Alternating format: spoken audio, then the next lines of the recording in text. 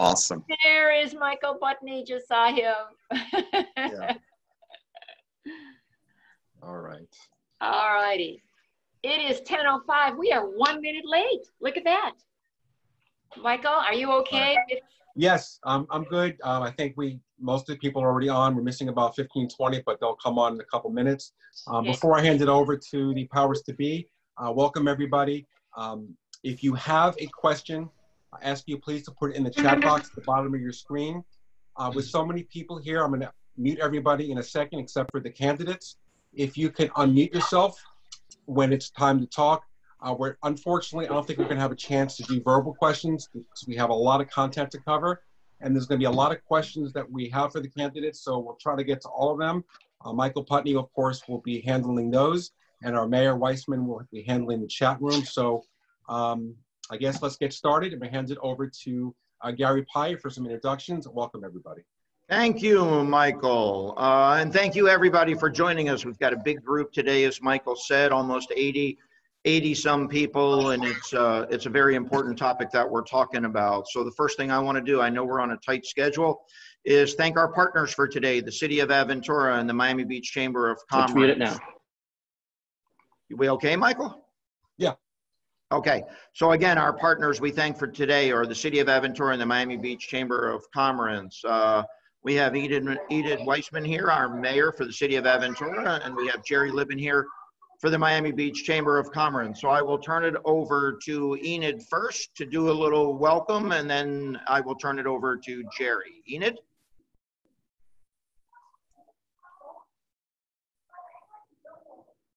Enid? Unmuting. All right, I was muted. I'm sorry, but I really want to thank all of you for attending this morning. It speaks volumes when a community gets involved. It does take a whole community.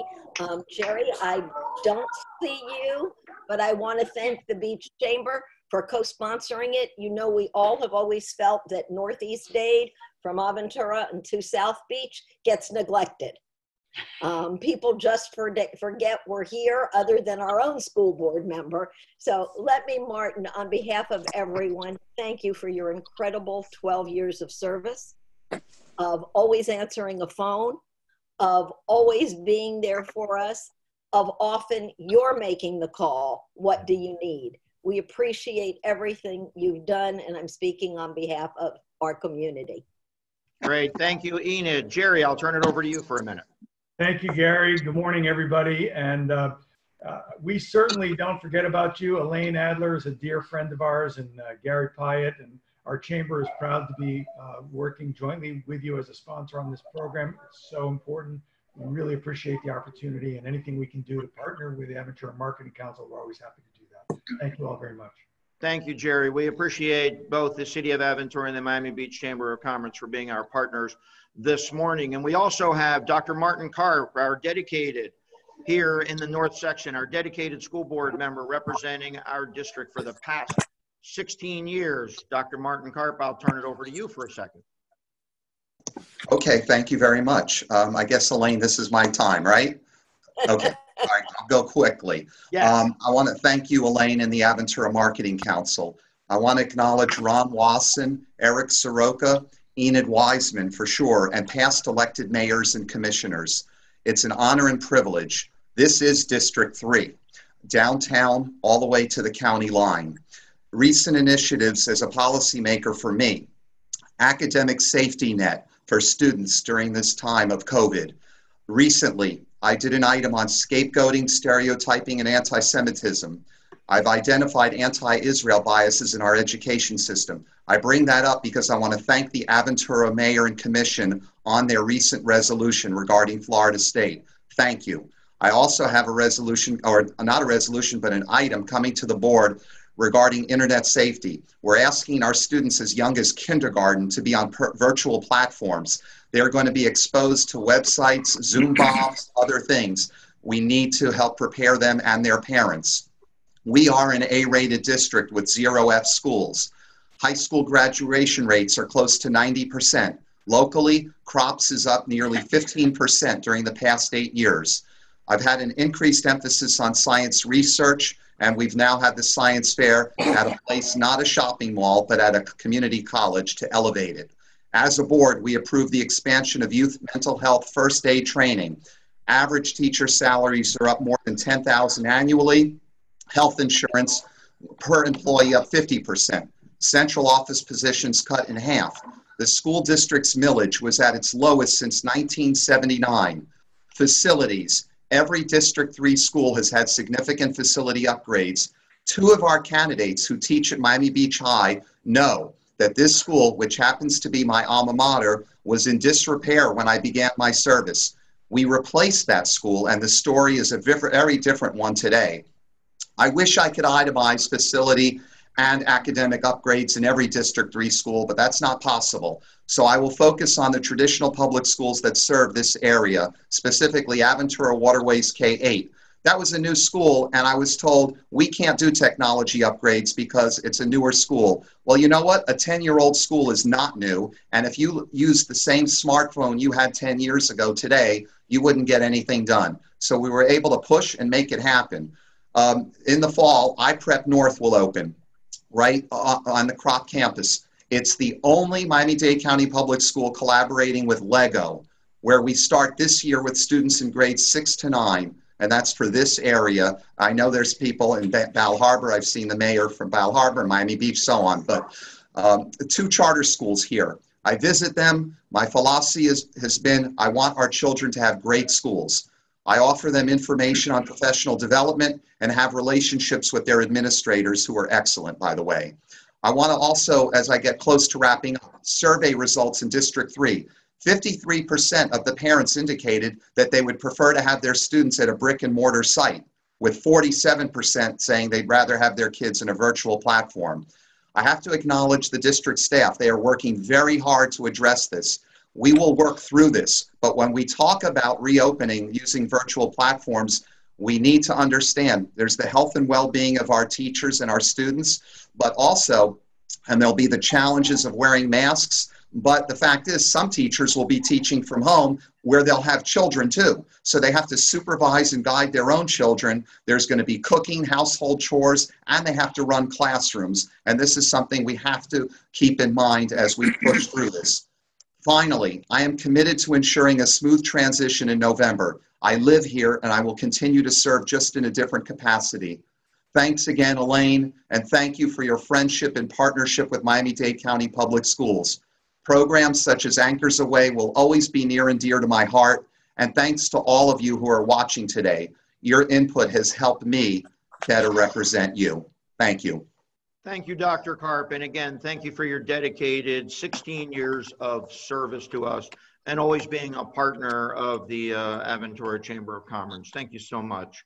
Thank and you. now, without these programs, we all know we have sponsors for these programs to help us with these. Our two sponsors today are Lynette Sabugo of Atlantic Broadband and James Blaisdell of Code Ninjas. Uh, Lynette, I will turn it over to you for a minute. Thank you and good morning. I'm actually going to have my counterpart Angel speak in regards to our company. He is the um, director of sales, commercial sales in Florida. So Angel, please go ahead and take it. You're on mute. okay, technology. Thank you. It is very nice to meet all of you, uh, even though it's uh, virtually, but I'm sure at some point we will meet in person. Uh, Atlantic Broadband is very uh, excited to be part of this organization and I'm very uh, proud of a sponsor of, of this meeting. Uh, Atlantic Broadband is the eighth largest uh, cable operating uh, company in the United States. We provide TV, internet, phone, and enterprise business services to more than 450 450,000 businesses and residential customers across 11 states. Here in South Florida, Atlantic Broadband provides an extensive and redundant fiber network and a portfolio of business grade products that are scalable and adjusting to the times that we live in today. Atlantic broadband in, internet speeds ranging from 10 megs to all the way up to 10 gigs, a point-to-point connectivity between multiple locations and, and phone service. As we're all transforming into a new normal, we'll be con continuing to work from home. Uh, so bringing uh, the office into home is more and more important. One of those products in particular that we're selling uh, is our hosted voice solution, which enables businesses to stay in touch with customers, even though they're working remotely from home or somewhere else. That, that reduces office time and maximizes customer engagement. To that end, ABB or Atlantic Broadband is also moving into that digital direction. Our staff is working from home, troubleshooting uh, with online web sessions uh, with our customers, and increasing the, the use of self-installation kits when available. Um, I hope uh, you enjoy our program today and we learn valuable information about the District 3 uh, school board uh, candidates. I thank you very much for your time. Stay healthy and be safe. Thank and you. thank you to Atlantic Broadband. Thank you very much. I'll turn it over now to really quickly to Code Ninjas and James Blaisdell. Uh, good morning, everyone. I'm James Blaisdell with Code Ninjas. Uh, we're a coding learning center for kids uh, ages uh, 5 to 14. Uh, we teach uh, computer programming by building their own video games. we're, we have a proprietary blended four-year curriculum where our ninjas advance from white belt to black, from zero experience to designing, building, uploading, and monetizing their own video games on their favorite app store. right now, we're running summer camps, both at the center and virtual. Um, this camp is uh, Roblox Studios, where students are learning to code their own games in Roblox. They're using a language called uh, Lua for code functions. Uh, we have a lead sensei teaching the class, a second sensei helping with questions around the dojo, and we also have two more senseis focused on the virtual campers. Uh, due to the new online school plans, we are launching an in-dojo online school program from 8 a.m. to 3 p.m. for parents to drop off their kiddos uh, online on online school days. Uh, we will leverage our equipment and tutors to keep kids um, uh, to ensure that they have an outstanding academic year. Uh, we will limit class sizes to 10 students, each uh, with their own workstation and equipment. When they're not on a virtual class, our tutors and teachers will focus on uh, ensuring they stay on top of their homework and assignments. For those that complete their schoolwork early, we have plenty of fun coding and STEM activities to keep them engaged in learning. We have strict procedures to ensure everyone's safety. We do temperature checks uh, for anyone entering the center. Parents are not allowed inside the dojo. Children must wash their hands prior to entering the classroom and are encouraged to use hand sanitizers throughout the day. All students and staff must wear a face mask and we provide anyone with, uh, everyone with face shields for added protection. Prior to entering the dojo, students will wipe their feet on our disinfected mat. In addition to disinfecting all equipment after each use, we also use UV light sticks throughout the day on high traffic areas such as uh, doorknobs and countertops. We also have uh, acquired smog sanitizing equipment, which we use to sanitize the entire center every night. And we also have invested in hospital grade air purifiers, which are scattered throughout the center. we are located.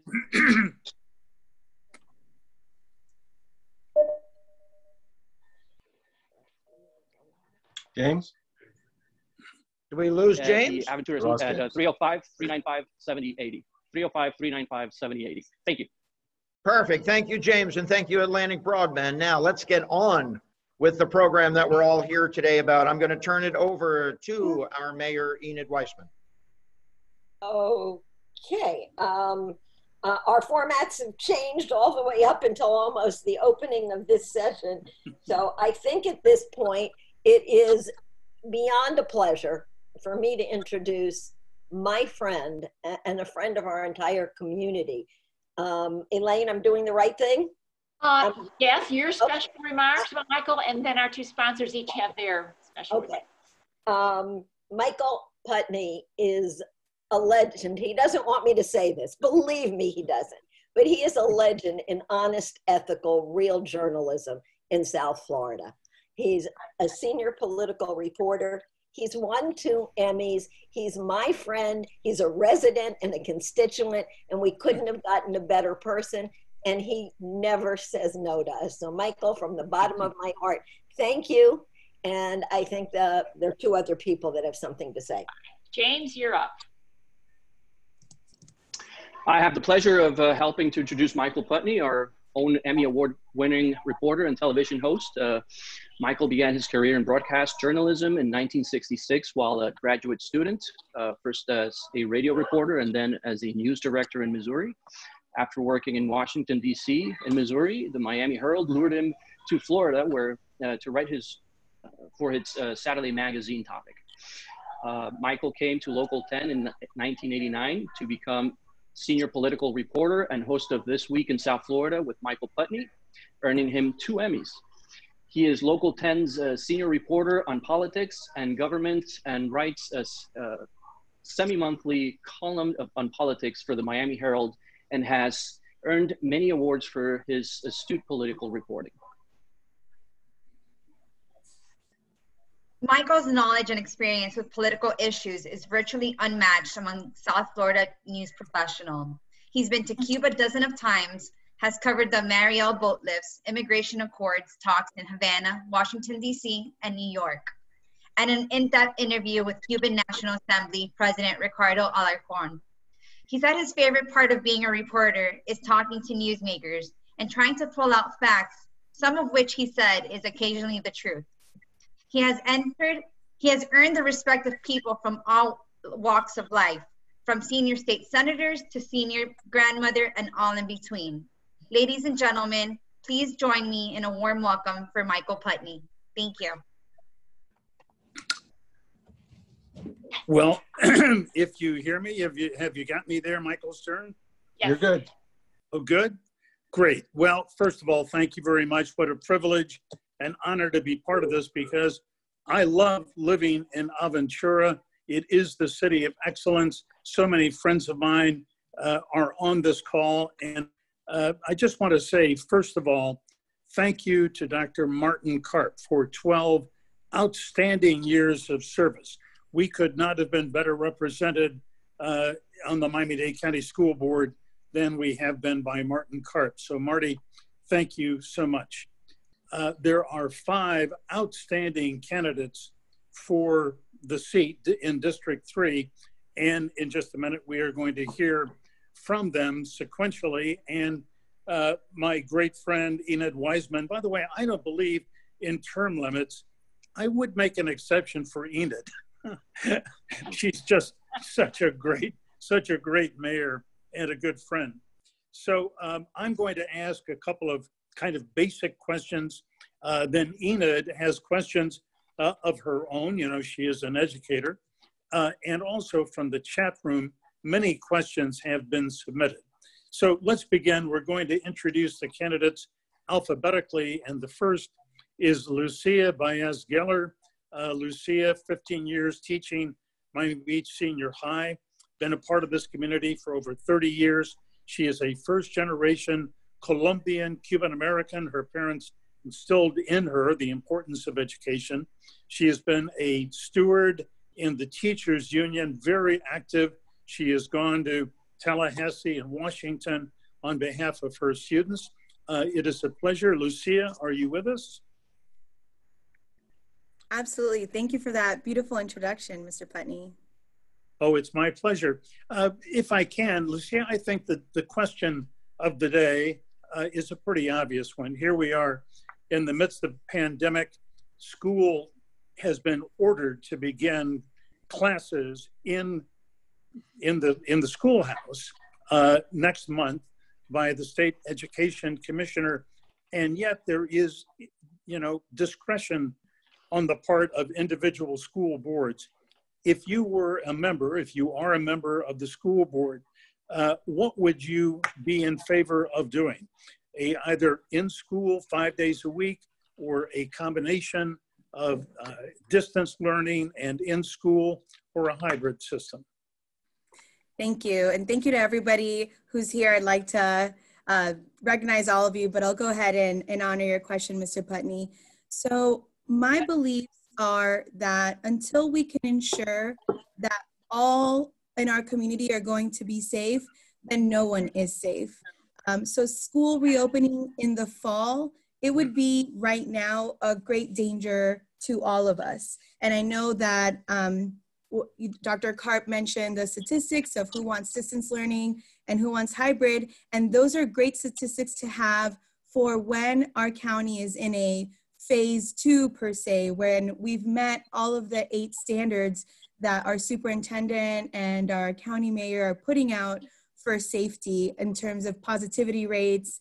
Um, so for me in transition, it's not too early, even though it looks like we're gonna open to distance learning in the fall, um, it's not too early to talk about our transition into phase two, where we will be faced with those decisions about hybrid, schoolhouse, or fully distance learning. And so what I would say is it's the time is now to start talking about this phase two transition, to establish protocols for safety that are guided by science and by best practices, that we are ensuring that we can have safety for all across the board, that we're talking to communities to see what are some of the things we learned from our transition in March. Uh, to distance learning so that we can improve. We also need to make sure that we are protecting our most vulnerable students and communities, especially our special needs uh, students, and ensuring that everybody has the basic tools.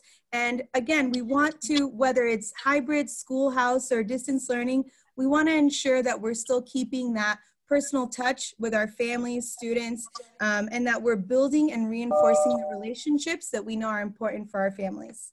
Okay, good. Well, good timing. The bell just went off. Uh, Lucia, one more question before uh, turn it over to Enid for a question or two, uh, and that is about charter schools. Um, thankfully, we have in Aventura two outstanding charter schools. uh, you know, the the Waterways K through eight and the Don Soffer Aventura High School. Uh, very proud of those schools but, you know, frankly, uh, the state legislature over the last couple of years has shown, in my view, kind of a disproportionate favoritism in funding charter schools, not as much capital going into conventional, uh, traditional public schools. Uh, where do you stand on support for uh, public uh, charter schools and public schools? Absolutely. So for me, charter schools, they arose out of a need that was demonstrated by parents in our community, and they felt that their needs weren't being met. So, as a school board member, I have to be aware that there are places that we need to be fixing traditional gaps in our traditional schools um, so that we could do better in, in providing for our communities. Um, I've dedicated my life to traditional public schools. I'm a traditional public school teacher at Miami Beach Senior High for 15 years. Uh, but as a school board member, my job is to ensure that everybody on the community has access to a world-class education. And we need to hold both private schools or charter schools and uh, traditional public schools accountable. Um, and we also need to ensure that our state legislature is not really pitting public schools against charter schools when it comes to funding. Um, and charter schools are here. We want to make sure that we hold them all accountable. Uh, we, we also, though, want to make sure that we're reviewing the practices in all of our schools, traditional or charter, to ensure that they are benefiting our community. Okay, thank you. And um, Mayor Weisman, Enid, um, if you've got a question of your own or from the chat room, why don't you jump in here and ask it?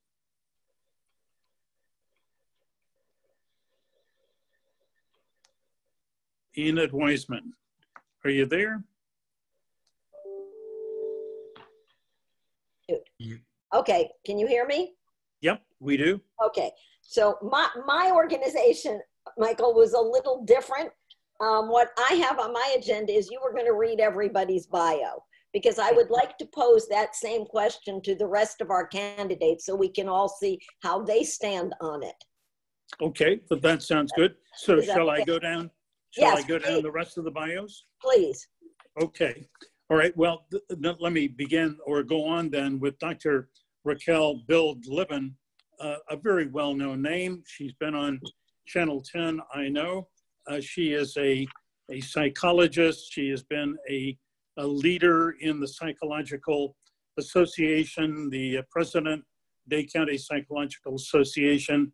She's received many awards for her work, an invited guest on CBS 4 News, Local 10, Telemundo, Fox 5 in New York. So uh, without further ado, Dr.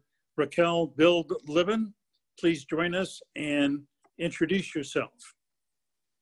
Thank you. Well, you've done a very good introduction. I appreciate it. And I really thank everybody for this forum.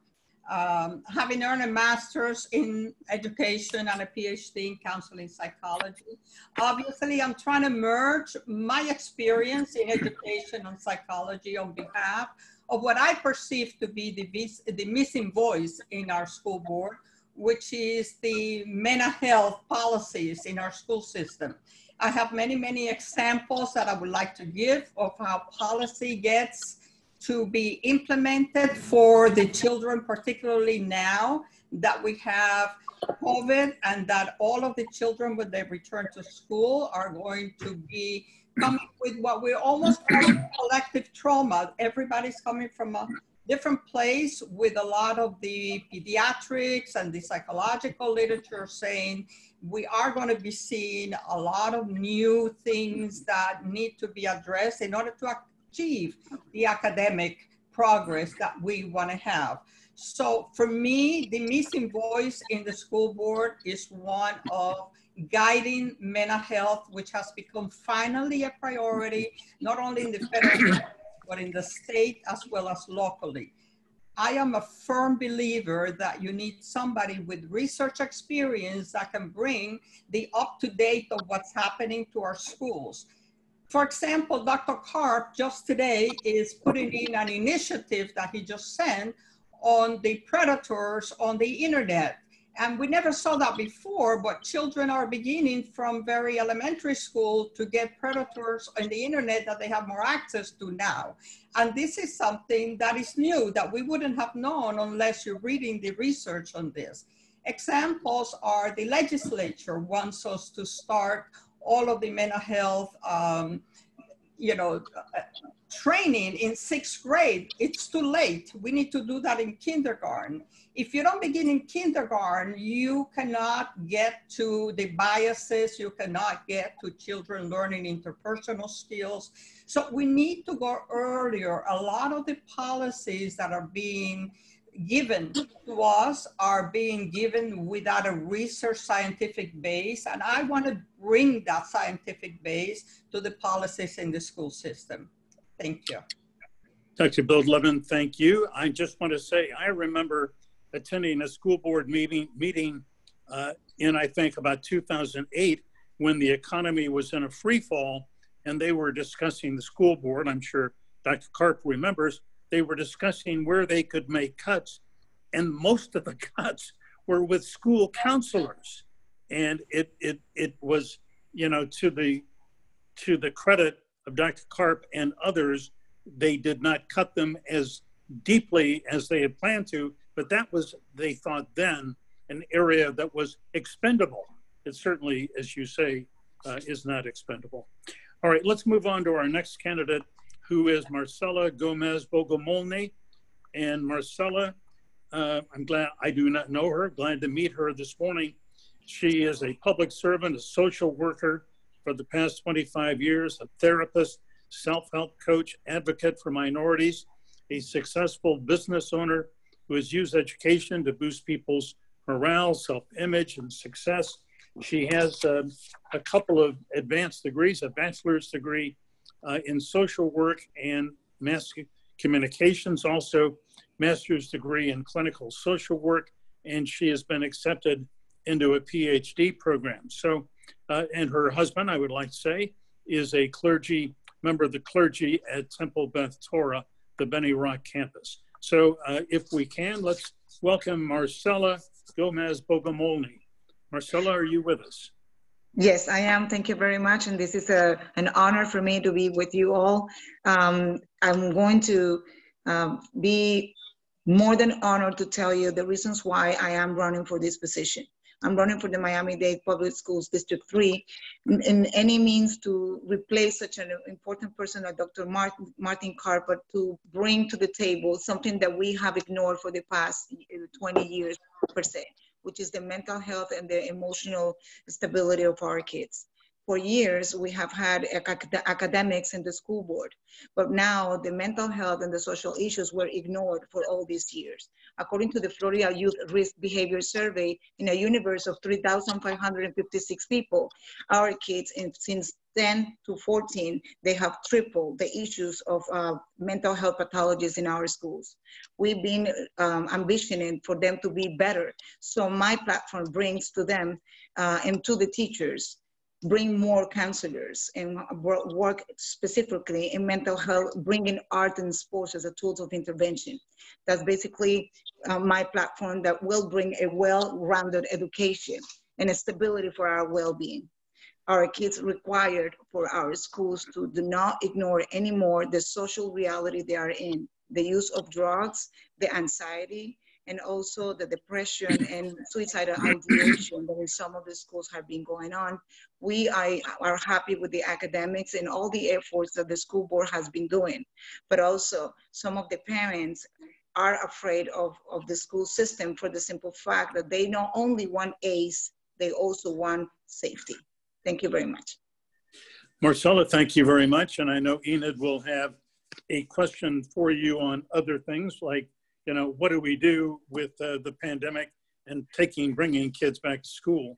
Let's move on to our next candidate, who is Josh Levy. Mr. Levy is the only candidate who has children right now in our schools. Michael Stern, if you want to pop Mr. Levy up, that would be good. Uh, Jonathan Joshua Levy uh, owns his own business. He's an advocate for public education long before he became a candidate for the Miami-Dade County School Board. He's the president of the Miami Beach Bar Association. Uh, he started an after school law club, which provides mentorships and internships. Uh, he has really been involved in education for a long time. So it is a pleasure to uh, introduce Joshua Levy. Mr. Levy, join us. Tell us why you're running. Well, I could tell you the litany of experience I've had over the years.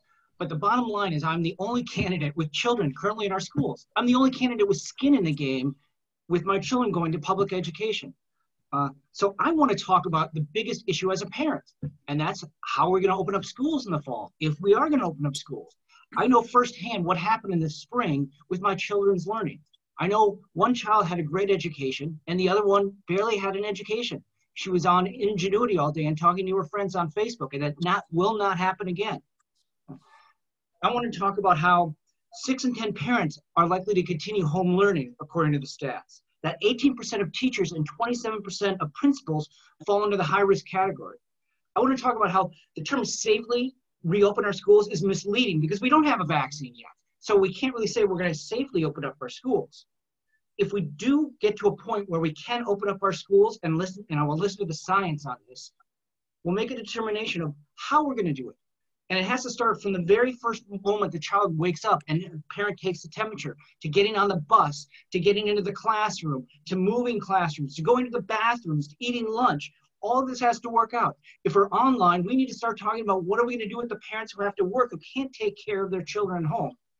I bring the parents' perspective to this. And I can't wait to continue my advocacy for the parents, the teachers, and the students, because as a lawyer with 25 years experience, I know how to get things done, whether or not it's at the Quality of Education Committee or the Chamber of Commerce.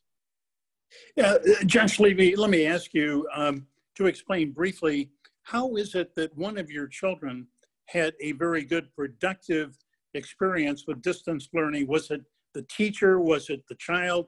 And why did one have such a, a bad experience? It's a great question. Um, so I have two children. One's at uh, New World School of the Arts for theater, and the other one's at Nautilus. Uh, the one at New World School of the Arts, the teachers were engaged, were passionate. They they made sure the kids had Zoom. Uh, at Nautilus, they switched to more of an Edgenuity, which is just an online learning, and it wasn't an effective tool. So we need to change that. We need to get more innovative with the online learning. All right. Well, it's an interesting story and maybe illustrative of the challenges of distance learning. Uh, I'd like to hear more about it. All right, let's move on uh, to Russ Rywell. Mr. Rywell is our fifth candidate today, not the last, however, uh, in order of importance. He is a teacher at Miami-Dade County, uh, Miami Beach High School, I believe. He was born in Miami Beach, attended county public schools, graduated with a bachelor's degree in mathematics from Rensselaer. Uh, he has a Master of Science degree from MIT. He worked in finance in New York for Citigroup. Then he went to uh, Singapore, was successful there with currency options, a fairly uh, uh, sophisticated part of the finance world. Uh, in 2001, he left his successful career in finance to come home, become a high school teacher. Uh, during two decades of teaching, he has built two speech and debate programs, coached national champions, helped raise and award almost $150,000 in scholarships. So please welcome Russ Rywell. Mr. Rywell, why are you running? Why are you the best candidate here? Thank you, Michael, and welcome to all my friends at the Aventura Marketing Council. I really enjoyed the Speed Biz event that I did before. And uh, I think Michael's gone over my qualifications. So let's talk about what's going on right now. We are in the middle of a public health and in another year, financial crisis. And we're going to need somebody on the board that combines both educational and business experience. And I think I'm that person. Let's talk a little bit about the situation we're in. Right now, we are not meeting any of the eight metrics. In June 23rd, I said we're not going to be able to open the school system safely. You can look at the Temple Beth Shalom uh, forum. We are at 130% of our ICU bed capacity. We have 40 pediatric ICU beds left. We are testing positive over 25%. We need to get under 10%. We are not going to open these schools. I will fight tooth and nail to stop opening the schools if it's not safe. When we do open, first we're going to be in an online system. And I've taught already, I've had my classes in Zoom. I realize that's not the norm across the board and we need to standardize it. That's why we'll have a more in-depth on-school online, my school online program where the students follow EEE, every teacher, every day, every class. We need to get to that. We need to start training the teachers now to make sure that they're comfortable with it and the system works.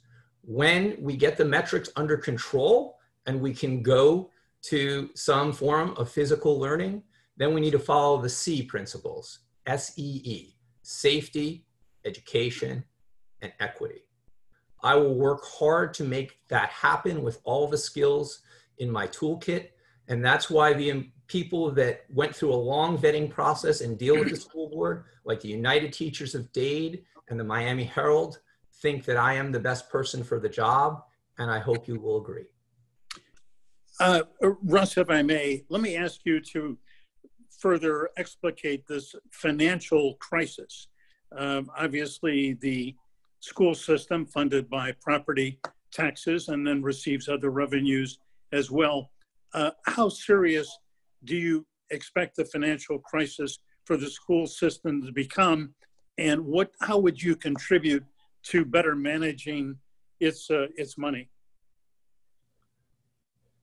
Thank you, Michael. That's an excellent question. I've listened to uh, the budget meetings and workshops. I've listened to the chief financial officer of the district, uh, Ron Steiger, speak. This year, with even though the sales tax are down 30%, 20 to 30%, um, with the rainy day funds of Florida, with the CARES Act, um, and it's an election year, we will squeak by um, with some freezes in place Steiger thinks that we'll have about $18 million to spend on PPE. I don't necessarily think that'll be enough, so we're going to need public and private partnerships to supplement that. And I've certainly worked with people in the community as uh, alumni chairman of Miami Beach Senior High, raising that scholarship money that you mentioned. The real question that I think you're getting at is what happens in the next school year. Um, right. There's going to be no election. Um, Sales tax revenues are going to be down. Property tax revenues are probably going to be down. I saw that uh, Commissioner Goldman asked about the Florida lottery. I think right now about 20% of the funds come from there. 25% of their funds come to the system. But we are talking about a 10 to 20% budget cut. The number that the superintendent uh, mentioned was $240 million. That is a huge hole. That is not something that's just going to go away. I will probably be an unpopular board member. I think the entire board will be unpopular. But this is how you have to address a budget. You have to have principles at the top, and then you have to look at the details on the bottom of the 300 page budget. My guiding principles, as I said, are safety, education, and equity. We have to ensure safety for our students, teachers, and the parents they go home to. We need to make sure we have good educational outcomes, and we need to provide equity. If we don't get some shiny new tech that we don't need, that's great. But those are the guiding principles that I will use to get us through this difficult period. Thank you. All right, great answer. Safety, education, and equity. All right, let's go back now to Mayor Weisman. Enid, uh, take it away. I know you have questions that we have received online have been submitted, and you have some of your own. Take it away, Enid Weisman. Thank you, Mike. Thank you, Michael. Um, just so we're all on the same agenda, this is sort of going to be like a rapid fire round. Um, I'm going to start with Raquel. One minute answers, and please, Brianne, time because we, you know, we want to make sure we use the time wisely. Could you please explain the state accountability system? And is there part of it that you think should change? We'll start with Raquel. Is there accountability for the schools? Is that Yeah. the question? Okay, both private and public schools? No, the state accountability system does not apply to private. Okay, so I believe that there has to be some kind of transparency and accountability, only because so many of the schools, like in Aventura, are great. On the other hand, so many other schools have gone under and the financial administration has not been there with public dollars. So there has to be some accountability in terms of transparency to the public and in terms of across the board teacher certification. Thank you. Thank you. Marcia, same question. Uh, please explain the state accountability system and is there a part of it that you think should change?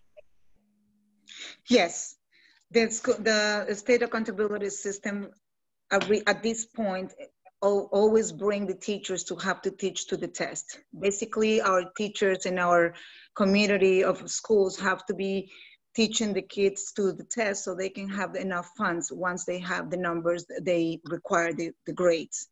For me, that's unfair, not only for the teachers, but also for the students.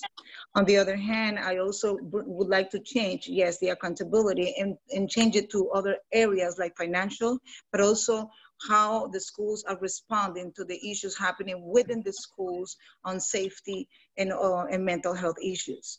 So there is accountability towards the state on, on terms of how the teachers are have to have to show that they are good teachers by teaching only to the test so the, t- so the, the Okay, students the minute, the minute is up. The minute's up. I've got to ask my timer to I'm please. sorry, I forgot about the minute. I, that's what I, sorry, sorry, sorry. I know, you're you, right. you get involved. Okay, next, same question. If you need me to repeat it, ask Lucia. Thank you, Mayor. So our state uh, accountability system, I would be in favor of reviewing how we're holding our, our schools and our teachers accountable. We should not just be grading our schools and our teachers based on their performance on an exam. I think it leads to a hostile environment in our schools and stifles learning and it stifles teachers from doing what they really want to do. Uh, so we need to continue to uh, include rigor into our classes. And we of course want assessments, but we don't want to trap our students and our schools in an evaluation system that tracks them and limits them. Thank you. Same question, Josh Levy. Great question. Thank you for asking it. Um, let's start with charter schools and voucher systems. If the state accountability does not apply to them, and they should, simply because they're using taxpayer money. Um, in 2015, 30 different charter school in 30 different districts, a charter school closed after they received about 70 million in funding.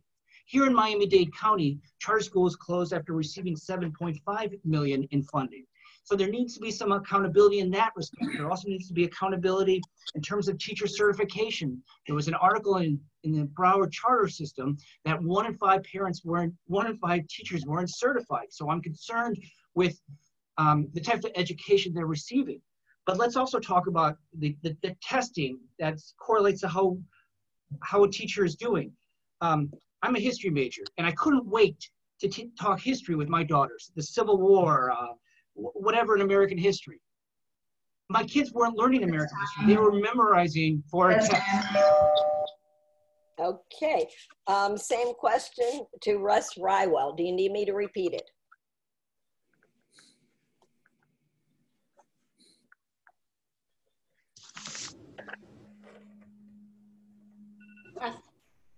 That's a great question.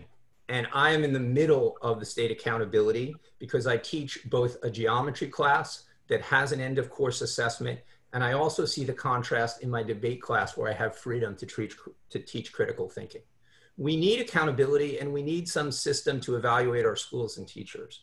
But the current system we have is flawed. Uh, I started off giving one end of course exam in geometry honors. Now I have to give a midterm, a pre-test, and eight unit tests.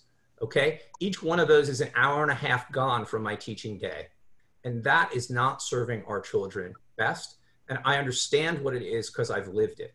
Now let's look at the other side of the coin speech and debate. I can explore and have discourse on topics like charter schools, which was actually the national uh, topic that we came in 17th this past year at Beach High. I see that I can teach the students to think, to evaluate, and construct an argument. That's what we need to do, and that's what I will fight for uh, in this. Okay, I have another quick, uh, very fast question, but I was asked to tell everyone we may go over the hour. We may, because we've got a lot of great questions here. this time I'm going to start with Marcia, and we're following the same order. Um, how do you feel about gifted programs? Would you increase funding to these programs? And that is to Marcia. Marcela. Marcella, I'm sorry. That's okay. No problem. Gifted programs are a gift to, to our community and they need to be supported and also um, empowered.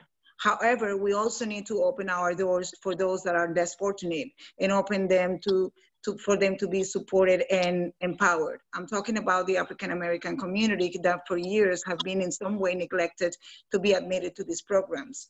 I will, I will not only support these programs, but make them, make them more available for those that are less fortunate. Not because they're not ready to go for those programs, but probably because we need to work a little more to support this part of the community so they can be as successful as the rest of the community, as the rest of our district schools. So yes, I love them. I, I believe they need to be uh, supported. They need to be funded, but also they need to be open to the other part of our community that is not being uh, benefited from. Thanks. Okay, Lucia. Thank you. Uh, I'm absolutely in favor of supporting our gifted and special education programs. Uh, I think inclusion, the definition of inclusion in our public schools uh, needs to be expanded and we can work on um, providing more training to teachers and ensuring that we hold our gifted program accountable. We also want to ease access to our gifted programs and kind of uh, cut out some of that bureaucracy and red tape that our community members are finding as they go in to get their students tested. We want to make that easier. And then as always, we want to have um, outcomes for the gifted program that are based on student success and that we can agree upon is going to uh, help students move forward and achieve in life. Thank you. Uh, same question to Josh Levy. Another great question. Uh, it is true that there's a disproportionate amount of students, of uh, African Americans, who are not in gifted programs. And the simple reason is a lot of people are able to take the test outside of our school. And it's a lot, they go up to a, a tester and they check the box and they're in. We need to make sure that all the tests are done in the school so everybody has a fair, same level playing field. Um, it has to be fair, and I do support an increase for the gifted program. But there's other programs as well that we needed to look at. You could be gifted at Nautilus, for example, and not be in the uh, uh, Junior Scholars Program. So we need to look at what's going on in each school in terms of the gifted and the other programs as well. Thank you. Thank you. Mr. Rywell, same question.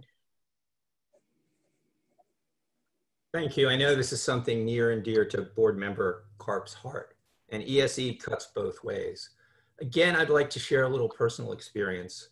In 1972 and 73, when the city you're living in was a swamp, I went to the Highland Oaks Middle School, uh, not middle school, elementary school. Unfortunately, it still looks a bit the same today, um, to a gifted program as a fourth grader.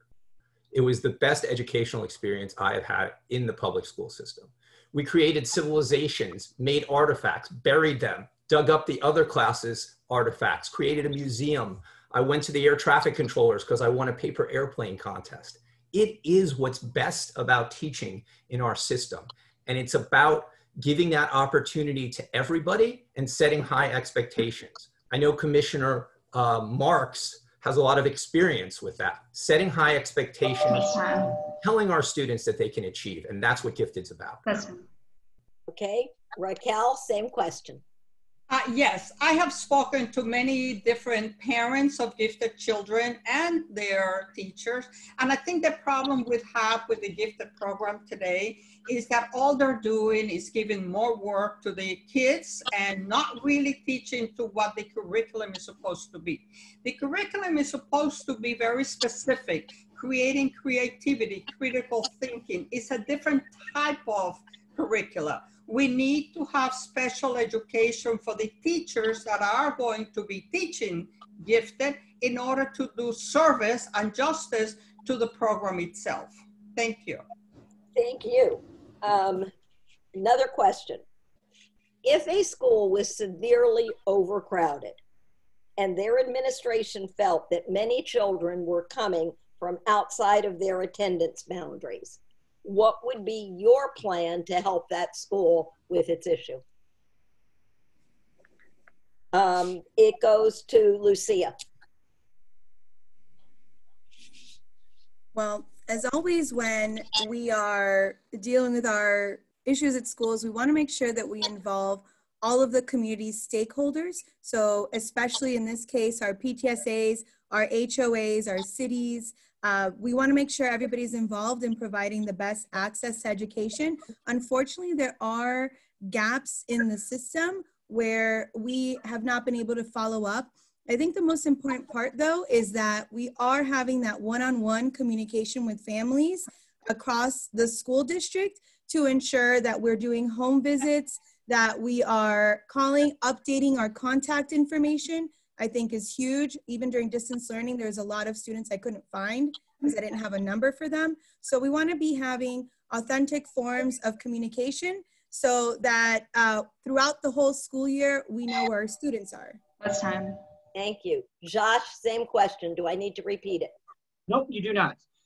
Um, as a parent, I know firsthand what it's like when you show up with your daughter and she goes into her math class and there's 56 kids in the math room. I know what the frustration as a parent of what it's like to see overcrowding. So what do we need to do to fix this issue of overcrowding and not having people come to your schools? Fix all the schools. Make it so the local community takes pride in that school, that they want to send their kids to, that the facilities are great, that that you know the teachers are fantastic, that they don't even want to think about going anywhere but that school. As vice chair of the Chamber of Commerce, I bring the business experience that I can get the business and the community involved with our schools. Uh, Feinberg Fisher on the beach needed um, items for their PTSA. So I walked the hall with with a, a, restaurant owner and he then took it upon himself and now they just call him and he gives them whatever they need. That's how we fix this problem. Thank you. Thank you. Same question, Russ. Could you repeat the question, please?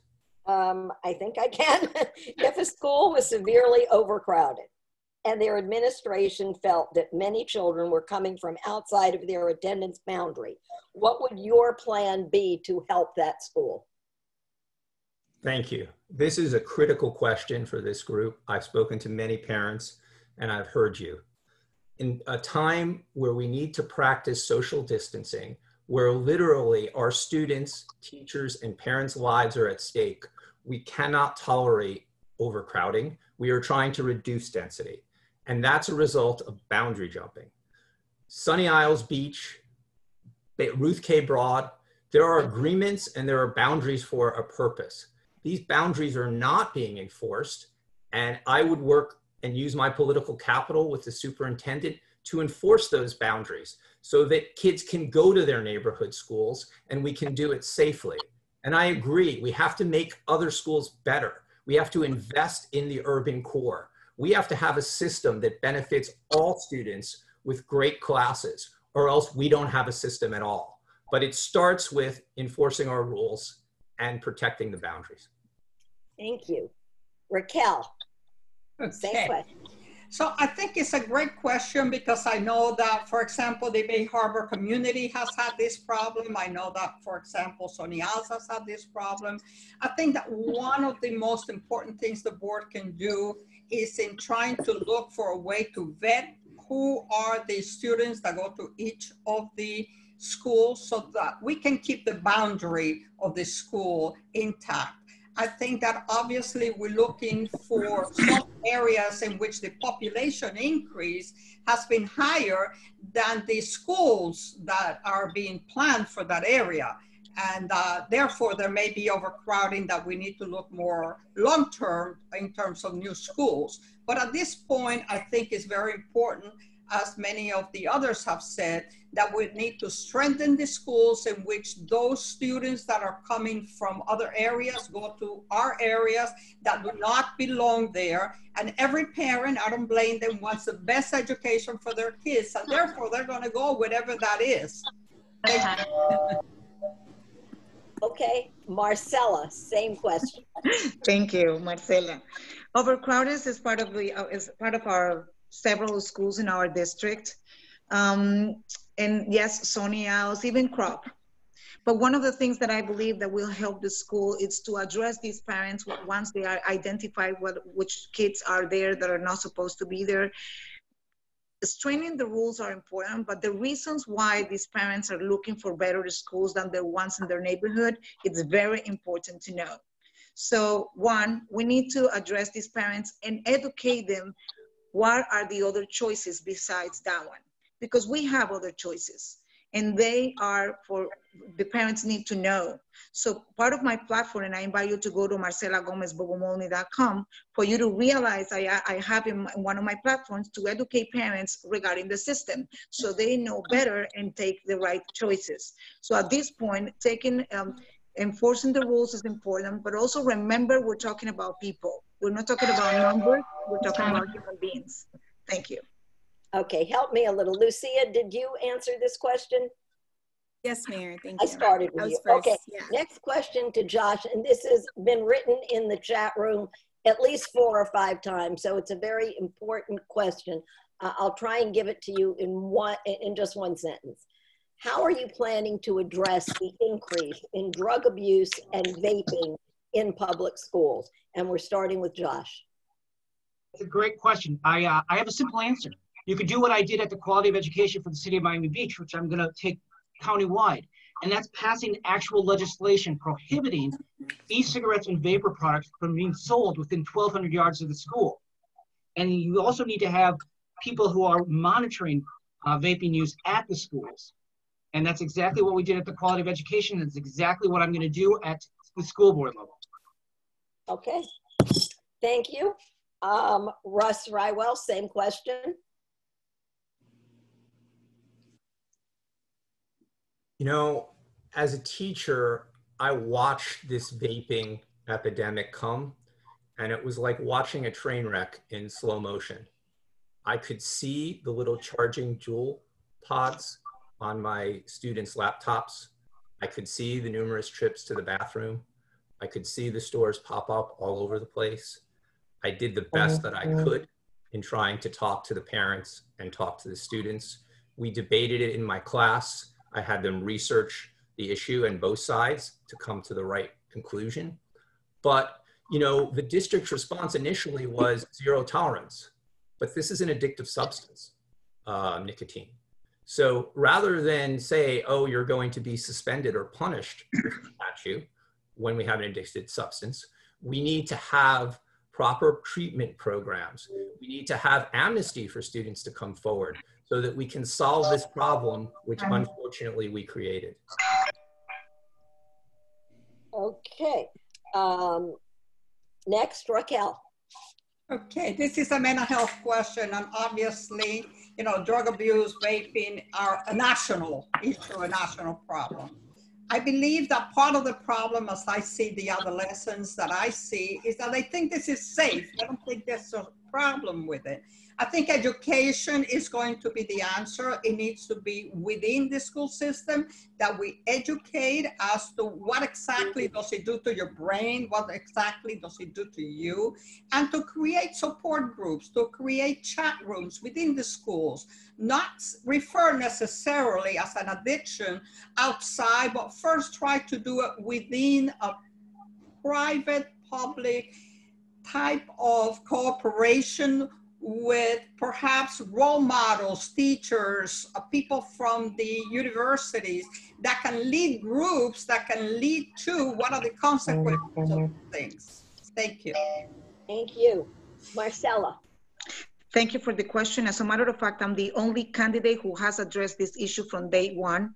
I'm the only candidate who brought the importance of mindfulness and mental health since mental health since day one for the for the during this campaign now other candidates are addressing it. But i have a plan for this. Social workers partnership with the national association of social workers and other universities can bring and donate their time so they can do some prevention uh, uh, activities in the community. Also we have a coalition parents teachers and clinicians to work together in something that everybody is affected by education and prevention. I, as a matter of fact, I led, I led myself as a teenager, as a 16 year old, a program in Medellin, Colombia, and the whole region to prevent the use of drugs. And it was successful in every single school of the region. So I know and have experience. As a matter of fact, I am a clinician on addictions myself, and I have used mindfulness as a tool to prevent these issues in our schools and our community. Thank you very much for the question. It's very success. It's very important for me. Thanks. Thank you. Lucia.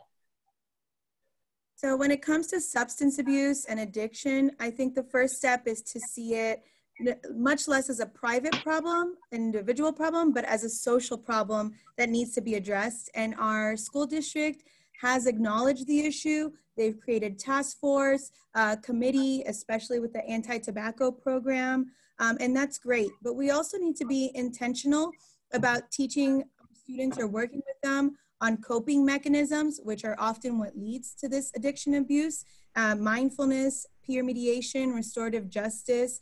Uh, these are things that we can do. We also really need to update our crisis response protocols. We need to have established protocols for assistance whenever we see a student that may be in crisis. And moving forward as your school board member, I will be making sure we're all on the same page when it comes to the safety of our students. Thank you. Josh, did I start with you? Yes. Okay. Okay. So uh, this question is going to be for, or start with uh, Russ Rywell. Name three current Miami-Dade County public school programs that would get your utmost support.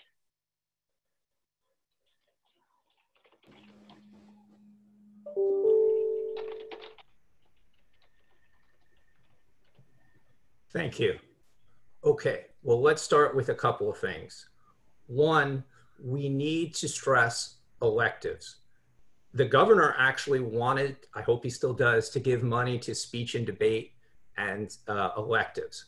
When I talked to members of the Miami Beach alumni when I was president for three years, they don't say, oh, I liked this in English or in math.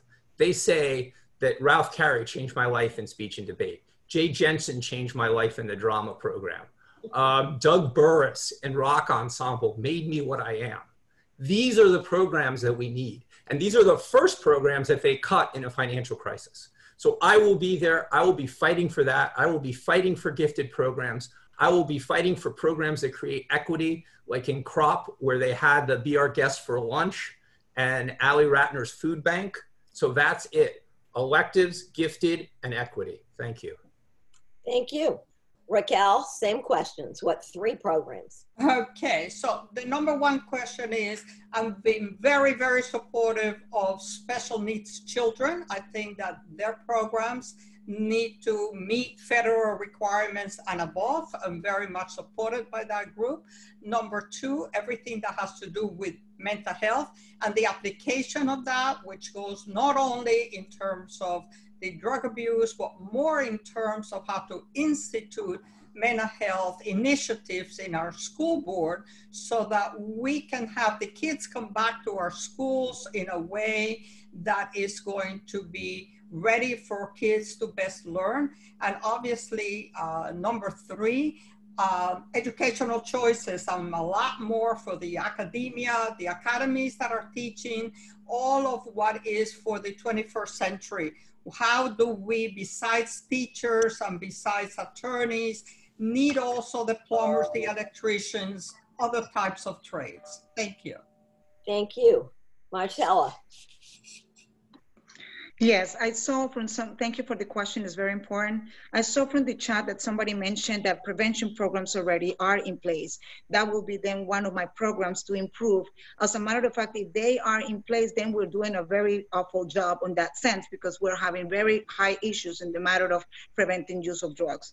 Uh, the other one will be arts and sports as an intervention tool for them to improve our, our children, your children, self-esteem and drama art, sports, and drama needs to be part of the curriculum, not because it is on, only important as, mm, uh, as a curriculum, but also as a support for their well-being.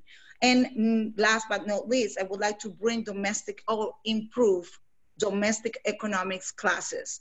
Our kids are, when I speak to the high schoolers, they tell me when I graduate, I have no clue how to manage my money.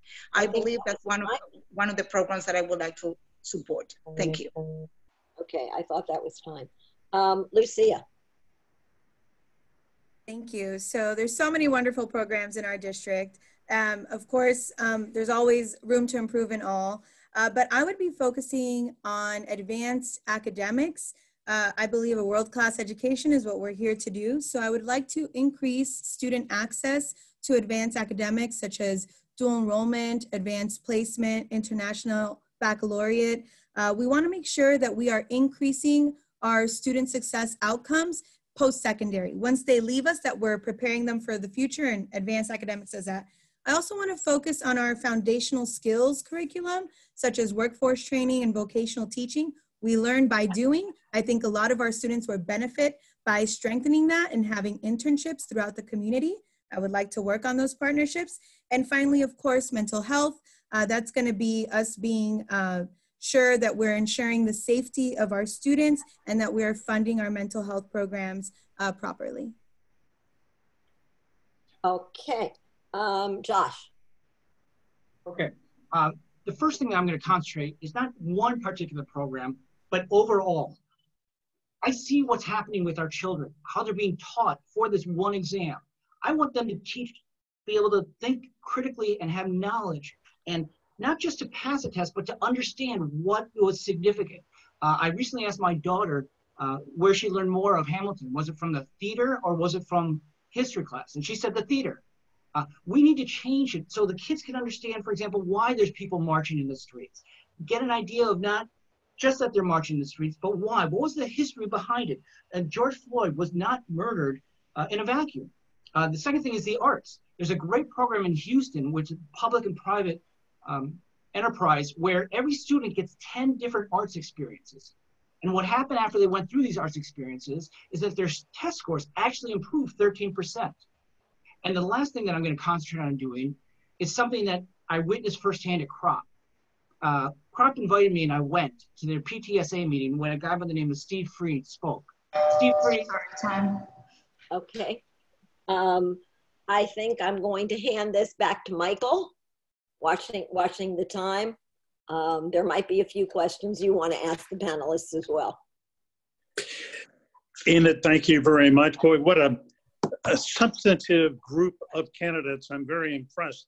Uh, we want to have closing statements now from each of them, one minute closing statements, and let's reverse the order uh, with which we began. So in this case, then, I would ask Russ Rywell. Uh, Russ, please take a minute sum up your candidacy and uh, a closing statement, please.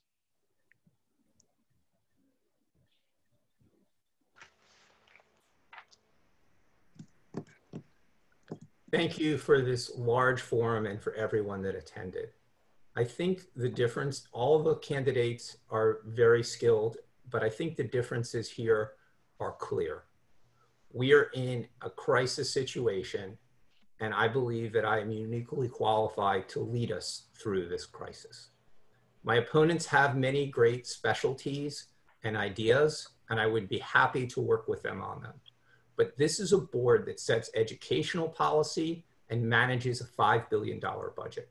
And you have to think who is going to be most effective in that role. And the people that have done the homework, that have given us extensive questionnaires, that have interviewed us for a half hour, 45 minutes, all of us have chosen me. The United Teachers of Dade, the AFSCME workers, the SROs, Mayor Gelber, Mayor Weisman, Mayor Bruder, Vice Mayor uh, um, those people talk to them and they will tell you why I am the best person. Thank you. All right, Russ, thank you very much. Let's go to Joshua Levy.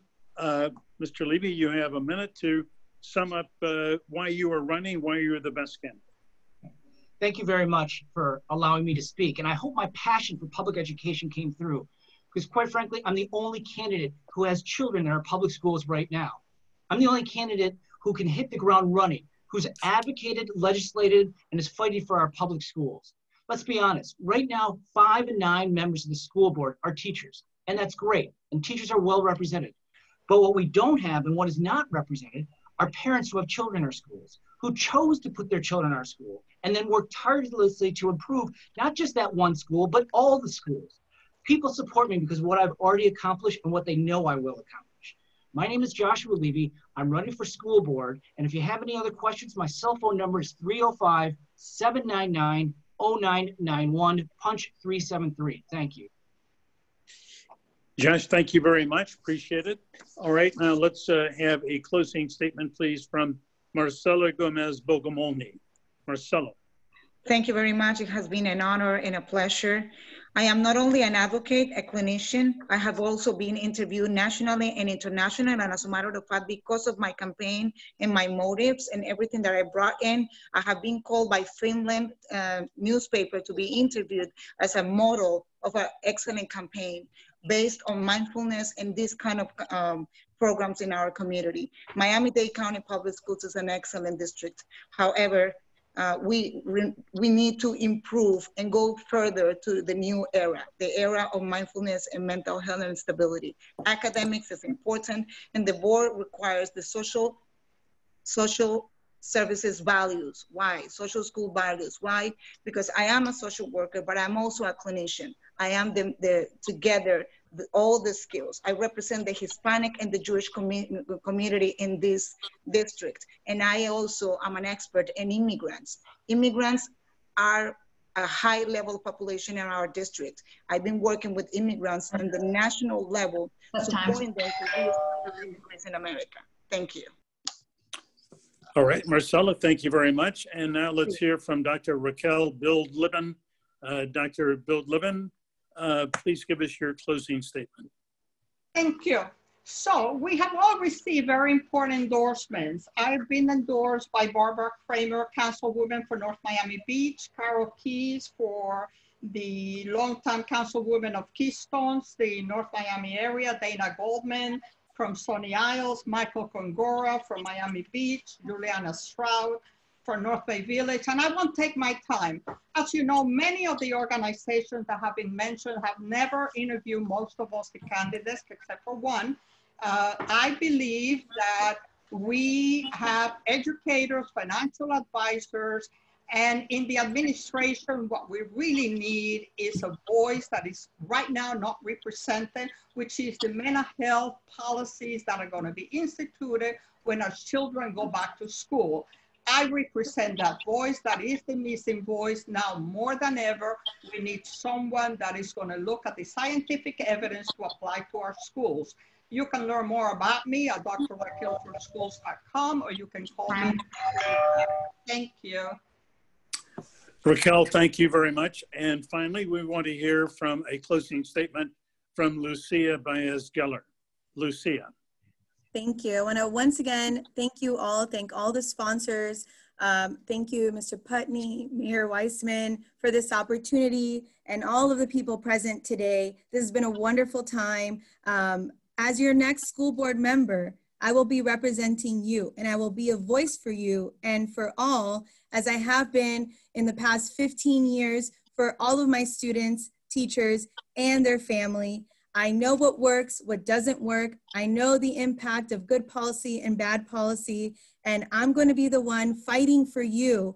Um, I will be asking the tough questions, and I will be ensuring that we have an proficient and adequate education curriculum, that we have enough school safety, mental health resources, and then we have a budget that reflects our values.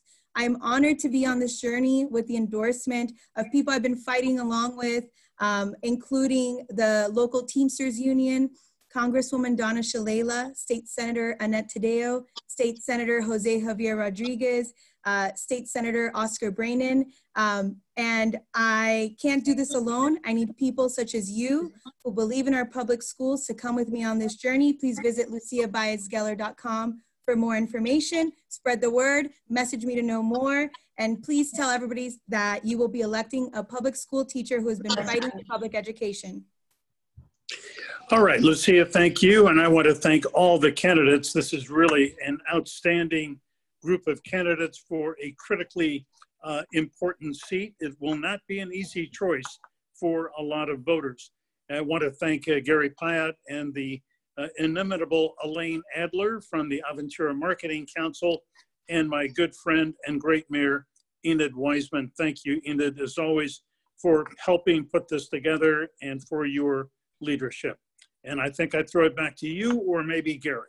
Yep, perfect. Thank you, Michael. And first of all, thank you, Gary, Michael, for taking your. Gary, Yes, can I take one thing? That Absolutely, Mayor. At least three people have written it in the chat room. It's not about this race, but it's very important. Please fill out your census. Please, please, please fill out your census. We need it. It translates into dollars for schools, for programs. And what I heard from all of you is that's what we need is money for programs and for building enhancements. So please tell your friends to fill out the census. Gary, it's yours. Thank you very much for the reminder, Enid. We remind everybody, every one of our Zoom programs right now, please fill out your census. So again, thank you. As I was saying, thank you to Michael Putney for moderating today's program. Thank you to our partners, the City of Aventura, the Miami Beach Chamber of Commerce, our sponsors, Atlantic Broadband and Code Ninjas. To the five candidates, we wish you all of the best. Today's program, even after we got through all the introductions, was just a little over an hour. So we appreciate all excess of 80 uh, members that participated and logged on to the program today for staying through till almost 11:30. And a big thank you, as I said earlier, a big thank you to Dr. Martin Karp for representing District 3 so so well for the for the last uh, the, over the last 16 years. Remember, vote, stay safe, wear your masks. Wear your masks and stay safe. Thank you to everybody and have a great day.